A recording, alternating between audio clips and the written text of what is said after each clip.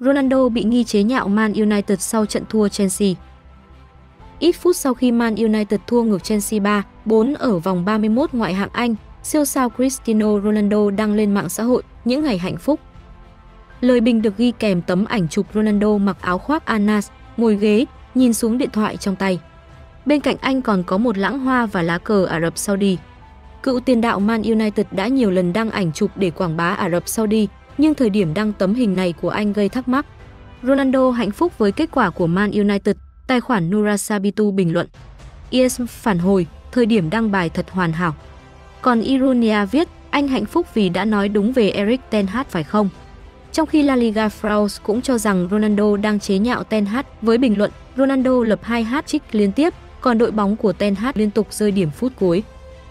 Ronaldo đăng lên cả ba mạng xã hội lớn anh tham gia gồm Instagram, Facebook và Twitter. Chỉ sau 2 tiếng, đã có hơn 2,4 triệu lượt người dùng like bài của tiền đạo 39 tuổi. Ronaldo nằm trong danh sách 50 huyền thoại Man United trên trang chủ đội bóng khi anh gắn bó với Quỷ Đỏ thời 2003 đến 2009 và 2021 đến 2022. Siêu sao Bồ Đào Nha đã ghi 145 bàn trong 346 trận cho Man United, nhưng anh phải rời đội sau những mâu thuẫn với Ten Hag. Cuối năm 2022, Ronaldo dần mất suất đá chính ở Man United, tạo ra khúc mắc với huấn luyện viên người Hà Lan.